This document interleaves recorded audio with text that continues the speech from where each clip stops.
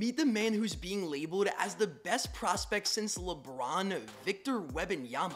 Victor looks like an NBA 2K created player standing at 7'3 with a wingspan of 7'9 and has the skills of a guard. This has scouts comparing him to Rudy Gobert on defense and an XXL version of Kevin Durant offensively. Wembanyama grew up in Le Chesnay, France, a Paris suburb and a family of athletes. His mom and sister both played basketball and his dad used to be a long jumper. And at just the age of 14, Victor began his professional career playing for his local club, Nanterre 92. So far in just the three years he's played professionally, Victor's been named the best young rising star in the French league twice back to back. Also last year, Wemby went head to head with number 2 pick Chet Holmgren in the FIBA U19 World Cup, putting up 22 points, 8 boards, and a ridiculous 8 blocks. Now this upcoming year, he's switching teams once again to play his final season in France before entering the 2023 draft in what will be a crazy tank battle for the 14% chance to land Yama.